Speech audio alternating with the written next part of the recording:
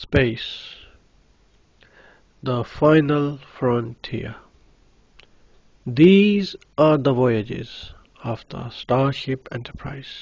Its continuing mission to explore strange new worlds, to seek out new life and new civilizations, to boldly go where no one has gone before.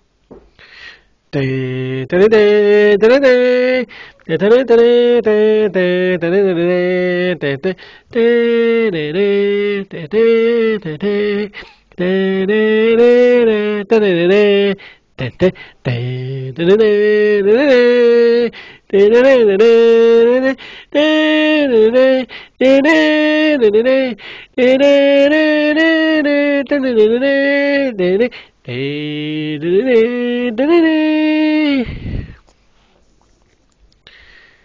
new Star Trek movie hopefully will be will be releasing in the summer of 2012 when the Enterprise will be commanded by a younger version of James T. Kirk whose first officer will be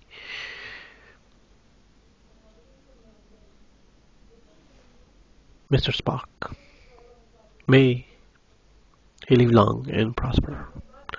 Uhura will be having an affair with Mr. Spock, most likely, and Scotty will be speaking his usual accent, which will be Scottish, and Mr. Chekov will be speaking half Russian and half English, which some people will understand, and some people most not understand. You did not make it, Victor. Uh, yes.